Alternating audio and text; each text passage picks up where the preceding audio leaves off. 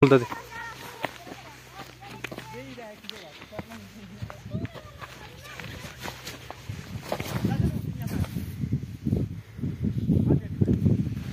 देख सकते हैं ये तालाब पूरी तरह से जम चुका है बर्फ़ से।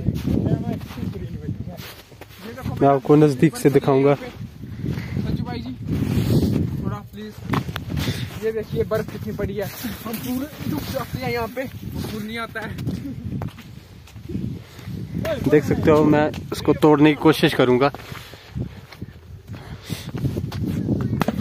ये देखो। भाई